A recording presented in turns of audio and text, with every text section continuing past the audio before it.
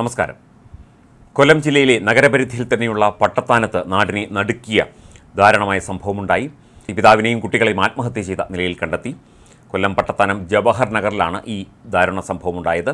നാൽപ്പത്തിയൊന്ന് വയസ്സുള്ള ജോസ് പ്രമോദ് ഒൻപത് വയസ്സുള്ള ദേവനാരായണൻ നാല് വയസ്സുള്ള ദേവനന്ദ എന്നീ വ്യക്തികളെയാണ് മരിച്ച നിലയിൽ കണ്ടെത്തിയത്. കുട്ടികളെ തൂക്കിക്കൊന്ന ശേഷം പിതാവ് ആത്മഹത്യ ചെയ്യുകയാണ് എന്നാണ് ഇപ്പോൾ പ്രാഥമികമായി കാര്യങ്ങൾ അറിയാൻ സാധിക്കുന്നത്. കുട്ടികളുടെ അമ്മ എം ബി ബി എസ് ഡോക്ടറാണ്. അവർ തൊട്ടടുത്ത ഒരു ഹോസ്റ്റലിൽ പി ജിക്ക് പഠിച്ചുകൊണ്ടിരിക്കുകയാണ്.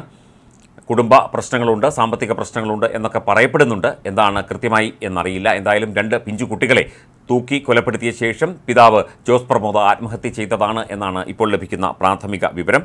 കൂടുതൽ വിവരങ്ങൾ അറിവായിട്ടില്ല. പോലീസ് സ്ഥലത്തെത്തി അന്വേഷണം തുടങ്ങിയിട്ടുണ്ട് എന്നാണ് അറിയാൻ സാധിക്കുന്നത്.